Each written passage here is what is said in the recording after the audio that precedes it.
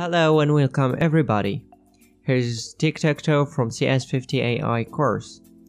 In this project you are asked to implement a bunch of functions and an interesting algorithm called Minimax, in which every pl player wants to maximize his score and minimize the opponent's score. Using the Minimax model given in the lecture, and thanks to the great articles of Geeks for Geeks, I was able to write the function to work as intended with alpha beta pruning. So let's run it. I'll play as O first. Um, yeah, here. As you can see, the the computer is playing smart here, and there's no way I can beat beat it. Yeah, there's a tie.